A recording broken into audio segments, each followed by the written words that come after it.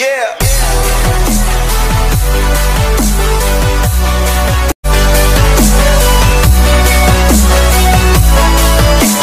Dukanya kerja di kapal seperti apa? dukanya jauh sama keluarga sama orang-orang yang tersayang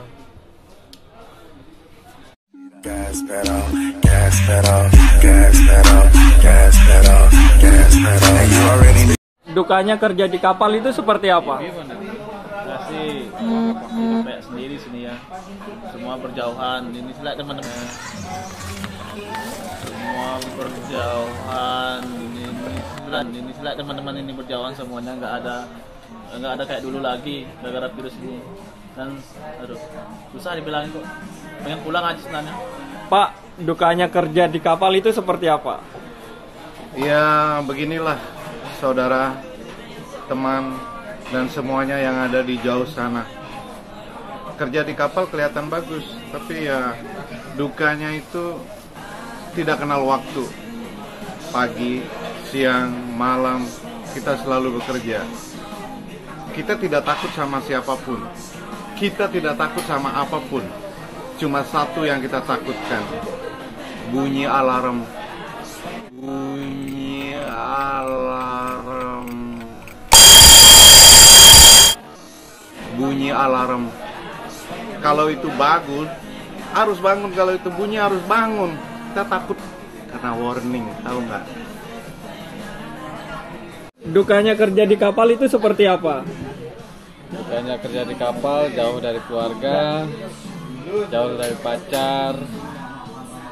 Sering kadang bisa telepon, kadang bisa enggak. Kalau sudah sibuk kerja, kita harus bisa eh, mengcover diri kita sendiri gimana buat eh, biar supaya sehat terus di kapal sampai kita bertemu lagi sama keluarga di rumah.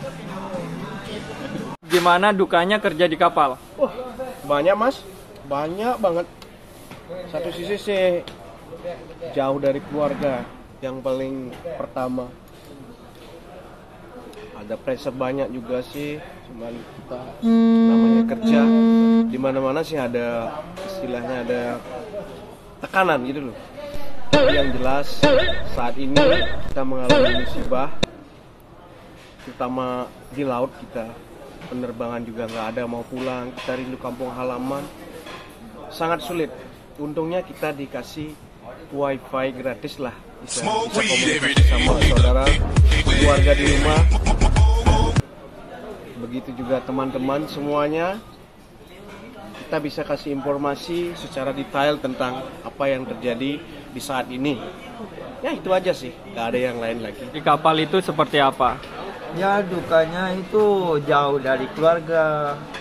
Ah, Lama sampai enam bulan di kapal.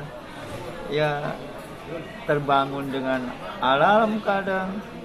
Ya dibangunin supervisor.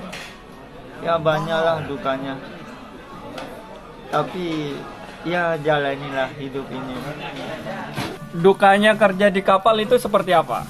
Kalau dukanya kerja di kapal itu banyak sepertinya itu. Contohnya kayak gini nih, kayak gini aja. Ini lagi musim corona ini. Ini kita nggak bisa cari duit. Pengennya pulang, tapi nggak bisa pulang. Kangen anak istri. Tapi mau gimana lagi keadaannya seperti ini. Jadi kita harus pasrah lah. Dukanya kerja di kapal itu apa? Kalau menurut saya pribadi, duka kerja di kapal itu yang pasti jauh dari keluarga itu satu.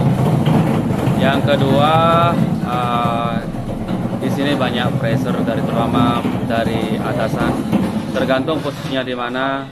Kalau atasan ngasih job itu pasti harus dilaksanakan.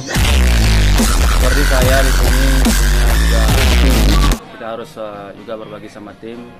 Suka duka kita harus saling berbagi. Tapi terus terang buat teman-teman yang belum merasakan bagaimana duka di kapal itu nanti suatu saat teman-teman kalau ada yang ingin bekerja di kapal pasti bisa. Tapi terus terang untuk duka di kapal itu sangat sangat menyedihkan kalau dipikir-pikir. Dukanya kerja di kapal itu seperti apa? dukanya itu jauh dari orang tua sama pacar. Nggak bisa pelukan. Oh